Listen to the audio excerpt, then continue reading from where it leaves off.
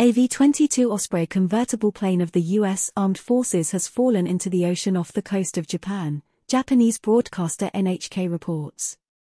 According to the press secretary of the Japanese Coast Guard, the Osprey convertible crashed off the coast of the Japanese island of Yakushima in the south of Kagoshima Prefecture. Eight servicemen were on board the aircraft. There is currently no word on whether there are any casualties or injuries among the people aboard the Osprey convertible.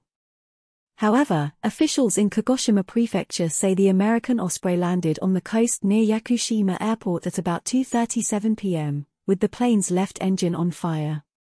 Sources in Japan's Transport Ministry indicate that the convertible took off from the U.S. Marine Corps base in Yamaguchi Prefecture and headed for the U.S. Kadena Air Base in Okinawa Prefecture. This is not the first accident of the V-22 Osprey aircraft of the U.S. military. In August, three Marines died when a convertible crashed on Melville Island, north of Australia, and a total of 23 people were on board, three of whom died and five were taken to Royal Darwin Hospital in serious condition.